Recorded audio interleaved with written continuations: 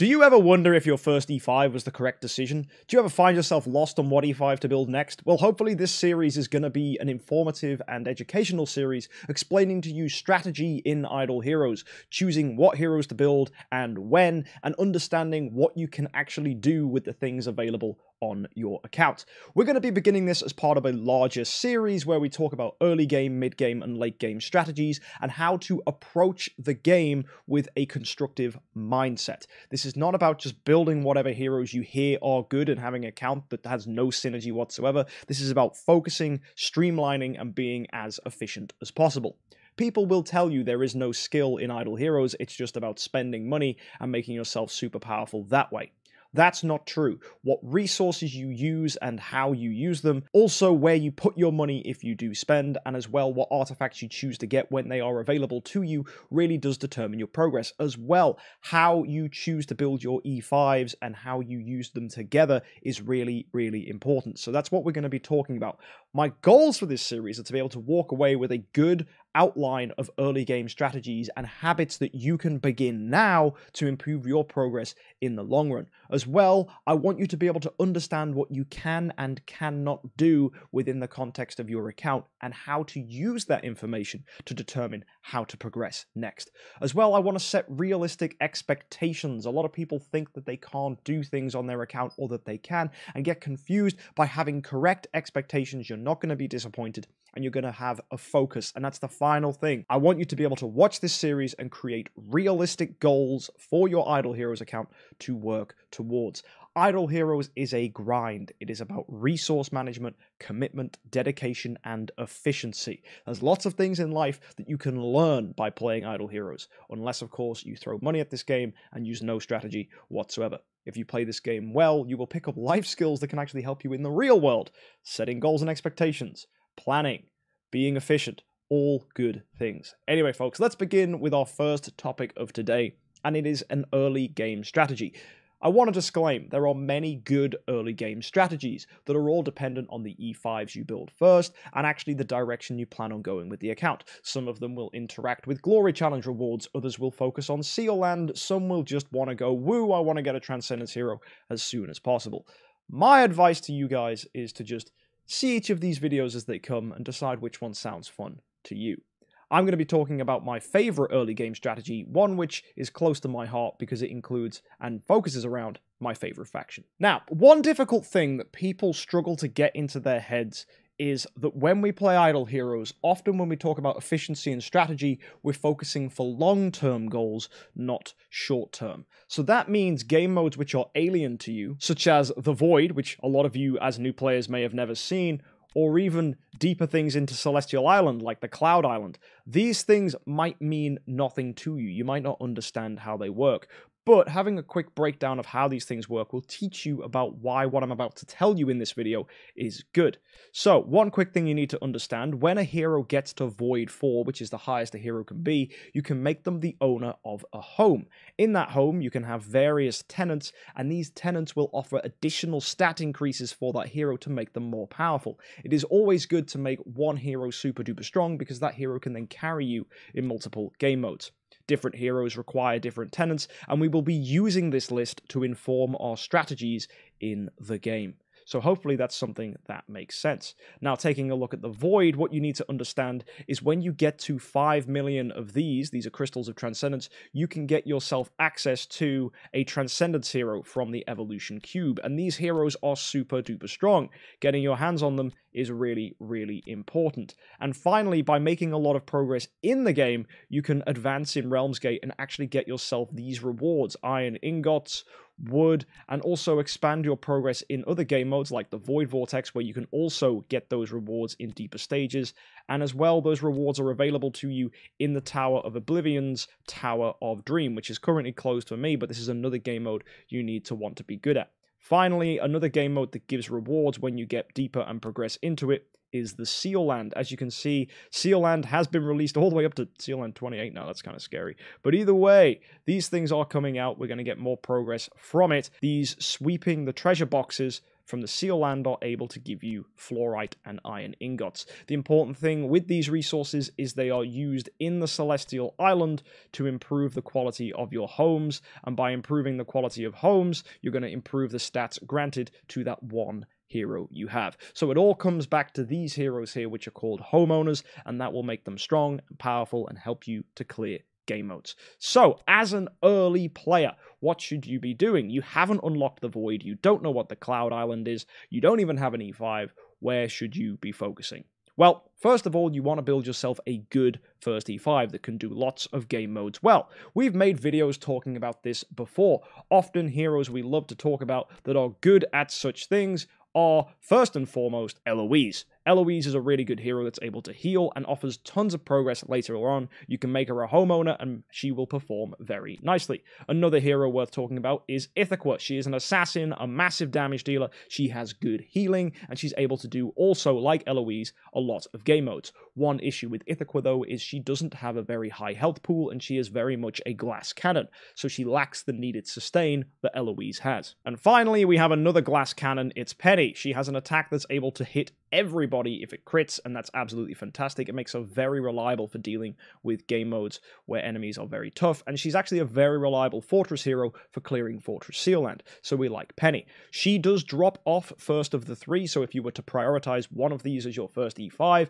you should probably prioritize Penny last, but she is still very good, and these are, in my opinion, the top three heroes to build as a first E5, assuming we don't consider Light and Dark. If Light and Dark is something you can consider, I would definitely encourage you to think about maybe building a Drake, or if you're really crazy, go for a Russell. But at that point, you've got to be questioning what do you get from going for light? The answer is not that much. Dark, on the other hand, is very good, and Drake is needed on pretty much every account. I made a video about him recently saying that I think he's the best hero in the game that cannot be transcended. So yeah, Drake is fabulous. Either way, let's talk about today's strategy, and that's going to involve the Shadow faction. What we're going to be aiming towards here is to build a team that functions well early on and can get you as much progress as possible in at least one of the game modes that we need these high end late game resources from. The easiest one to go ahead and do if you focus on good heroes is Seal Land. Seal Land is really reliable if you use an Eloise. She is the only hero that is non transcended that you can use to do Seal Land and clear later modes. Every other Seal Land requires a Transcendence hero. For Abyss, it's Halora. For Light, it's Eos or Asmodel. For Fortress, it's going to be Swordflash. For Forest, it's going to be Vesa. And for Dark, it's Aspen. These are heroes we don't really have access to in the early game. Eloise, on the other hand, you can get straight away as your first E5 so it is a smart decision. So, Let's say we want to build Eloise as our first E5. She is a ranger. Now that we've got her up, we've unlocked the void, we can start using her in that, and that's going to be great. Things we probably haven't done with an Eloise is complete Tower of Oblivion. For that, you're going to probably want a 9-star Ignis to get this passive here that gives her some control immunity. So there's an early game strategy. Build a 9-star Ignis with an E5 Eloise. That pairing is super duper nice. At 9 stars, she'll get this passive, which means when Ignis dies, the hero next to her, which will be Eloise, hopefully, you will give 100 energy to, and they will gain 100% control immunity. So waves that were providing you problems no longer will. Things like Mim waves you will find as you imprint up Eloise she's able to deal with, but you will probably need a good artifact on your Eloise, whether it's Golden Crown or Augustus Magic Ball. So that's one caveat about this strategy. It does require you to have a splendid Augustus Magic Ball or a Golden Crown that's been upgraded somewhat. It allows Eloise to be tanky and have more survivability. If we go take a look, if we focus on Eloise by going to the Celestial Island, let's go see who her tenants are. By going to the Shadow faction, you can see Eloise requires Flora Ithaca Onoske, Gustin Jara Saja, Tix, Mim, and Annabelle, and finally Carrie and Ammon Ra. What we can instantly say about this is one hero in each slot is very, very good, apart from maybe slot two. There's nothing that amazing about Saja, Jara, or Gustin. Either way, let's look at the tenants we have. In tenant spot one, our immediate pick is going to be Ithaca. Ithaca is a very reliable damage dealer, and I mentioned she's another really good first E5. So Eloise plus Ithaca works really nicely. As well, Ithaca will play towards Eloise's weaknesses. Eloise is a slow, sustainy, tanky hero. Ithaca is a high damage dealing glass cannon. Both complement each other fantastically. So game modes that you can't do with Eloise, you can hopefully do with Ithaca. Moving to tenant spot 2, you'll probably just want to save Gustin copies to build him at some point. He is the best slot here. Priests get a lot of attack bonuses. You will find that he is the best one to put in slot 2. Tenant spot 3, this is where we have a choice between Annabelle and Tix. Annabelle is a priest and probably the better choice, but Tix offers productive performance in game modes that we otherwise might not be able to do, such as beating Death 100 in Aspen Dungeon and maybe having some necessary attack steal that's going to help you in later stages of Broken Spaces, which is going to allow Ithaca to perform better so she can deal lots of damage in those game modes and get you far. Finally, tenant spot 4 is between Carrie and Amon Ra. Amon Ra is the better pick, as she is a priest, but Carrie is able to solo her seal land and also is a ranger, so it doesn't require you to spread across multiple guild techs. Ideally, we'd want both on our account as well as Drake, but really it's up to you which one we go ahead and build. So suddenly, just by looking at this tenant menu, we've started to think about heroes we want to build to E5 after we've built up are Eloise. What's even more interesting is three of them were in the Shadow faction. That's going to give us more E5s that are going to help us in Shadow Sealland. So if we go ahead and build Eloise as our first E5, we can then consider building Ithaca who can complement us, or Tix who as well can patch in game modes we're not good at. Now one issue with this strategy is it requires lots of guild tech. For Eloise you're going to need Ranger guild tech, for Tix, you're going to need Mage, and for Ithaca, you're going to need Assassin. And if you go to the guild and take a look at your guild tech, you are often limited on how quickly you can level this stuff up. Yes, you can get these rings done, but it really depends on your income of guild coins. If you're a slow player, you'll find that guild coins are coming in fairly quickly compared to your progress, and that's good. But if you're a spender and you're accelerating your progress, you might find that you're not quite able to make the most progress you can because you're spending too quickly and building lots of E5s that you don't have the guild tech to back them up. So oftentimes you may argue it's not good to go Ranger, Mage, and Assassin. In that case, you might want to consider some other areas that have holes in your strategy. It could be to go ahead and build a Penny. She is a Ranger. She is in the Fortress faction. She can be used to clear Fortress Seal Land. Also, by building her in the Fortress faction, you will get Glory Challenge rewards because she is an E5 that is a Fortress. And at the moment, we've just been talking about Shadow Heroes. And once you get a Shadow Hero to E5, you'll get yourself a 9 star puppet, but no more after that.